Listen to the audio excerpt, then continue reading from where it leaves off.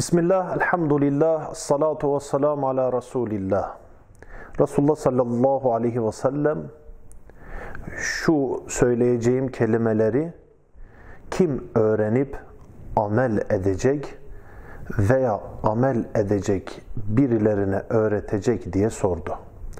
Ebu Hureyre radıyallahu an ben ya Resulallah deyince Nebi sallallahu aleyhi ve sellem onun ellerini tuttu ve şu beş şeyi sıraladı. Maddelendirecek olursak bir, haramlardan uzak dur ki insanların en çok ibadet edeni olasın. İki,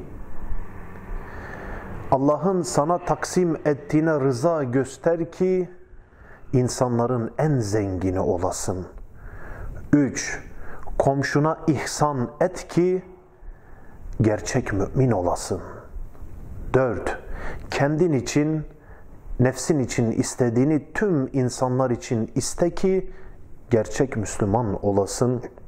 Ve son olarak beşincisi, çok gülme, zira çok gülmek kalbi öldürür buyurdu Nebi sallallahu aleyhi ve sellem. Bu hadisi şerif Tirmizi'nin süneninde geçmektedir. Değerli Müslümanlar, bu hadisin gölgesinde konakladığımızda Allah Resulü sallallahu aleyhi ve sellem bize bazı mesajlar vermektedir. Bu mesajların ilki ilim talebelerine yöneliktir. Ey ilim talebeleri! Kur'an ve sünnetin menbaından besleneceğiniz o değerli ilmi sadece ve sadece hayatınıza geçirmek, yaşamak, tatbik etmek ve insanların da istifadesine sunmak olmalıdır. Öğreneceksiniz, yaşayacaksınız ve yaşatacaksınız.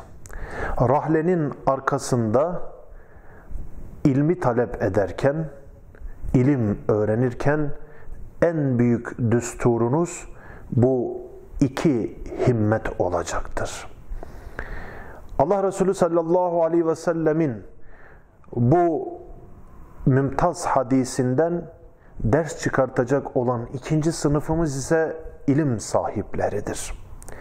Sizler de ey alimler, ey ilim sahipleri, Allah'tan en çok ve hakkıyla korkanlar, ilmi yaşayacak ve yaşatacak olanları öğreteceksiniz.